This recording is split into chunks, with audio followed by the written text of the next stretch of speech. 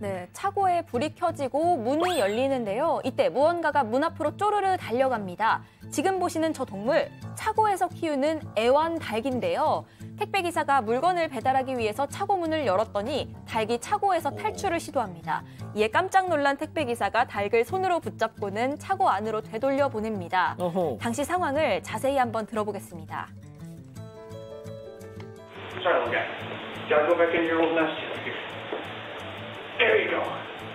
Good. no, no, don't go inside. Don't go inside. No, no, no, no, no. Go, go, go. You have to stay in the house, Mr. Chicken Man. No, what? Stop following me outside. 아, 왜 저래? 어, 어. 네, 택배 기사가 닭을 손으로 잡아서 차고 안으로 되돌려 보내는데 어. 이 닭이 좀처럼 말을 듣지 않고 있습니다. 음흠. 차고 안으로 데려다 주면 다시 택배 기사를 따라서 달려나가고 한 번 더 데려다 줬더니 닭이 또 탈출을 감행하는데요. 이 한참 동안 닭과 전쟁을 벌인 택배 기사.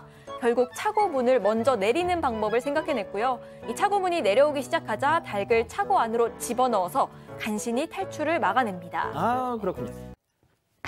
아직 안 끝났습니다. 이거 눌러주세요.